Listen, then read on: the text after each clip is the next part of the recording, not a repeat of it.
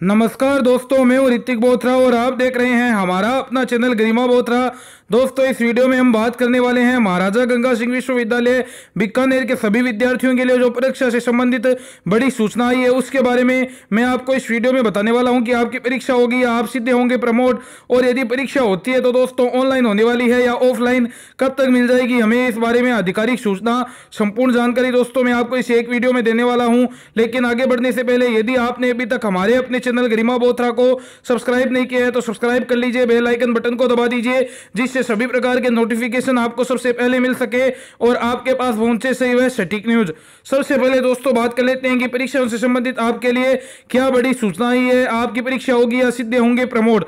तो इस बारे में मैं आपको बता दूँ दोस्तों, अभी ऑफिशियल न्यूज़ ये निकल कर आ रही है कि आपको ये जानकारी है दोस्तों, कन्फर्म जो हमें आधिकारिक सूचना की बात करें, वो मिल जाएगी लगभग दोस्तों बारह से लेकर के तेरह अप्रैल के बीच बीच में। क्योंकि दोस्तों अब ये देख सकते हैं, विश्वविद्यालय की शेष परीक्षाओं और शैक्षिक क्षेत्र पर निर्णय के लिए कमेटी गठित कर दी गई है। आर्यू कुलपति को बनाया गया कमेटी का संयोजक, जो तीन दिन में रिपोर्ट देंगे, यानी उन्हें नौ अप्रैल, दस अप्रैल और ग्यारह अप्रैल, दोस्तों, तीन दिन का समय दिया गया है। उसके बाद में बारह अप्रैल और तेरह अप्रैल को, दोस्तों, है, वो अपना निर्णय सुना सकते हैं। बारह या तेरह अप्रैल को वो निर्णय बता देंगे कि आपकी परीक्षा होने वाली है या नहीं होने वाली है। लेकिन दोस्तों, यदि हम उस शिक्षा मंत्री भवन सिंह जी भाटी के बयान पर गौर करेंगे तो उससे तो दोस्तों ये लग रहा है कि आपको सीधा प्रमोट कर दिया जाएगा। केवल फाइनल ईयर के स्टूडेंटों पर दोस्तों सस्पेंस ज़रूर है, क्योंकि जो भवन सिंह जी भाटी ने कहा है, वो देखिए यह तय है कि अब परीक्षाएँ होना संभव नहीं है। उन्होंने अपने बयान में यह बड़ी बात कही है। फाइनल ईयर वाले स्टूडेंटों के लिए ज़रूर उन्होंने यह कहा है कि दोस्तों, ये देखिए, दूसरा विकल्प यह है कि स्नातक अंतिम वर्ष की परीक्षाएँ कराई जाए और शेष कक्षाओं को पिछले साल के नंबर के आधार पर दोस्तों क्रमोन्नत कर दिया जाए, ये बात है। वो भवन सिंह जी भाटी द्वारा कही गई है।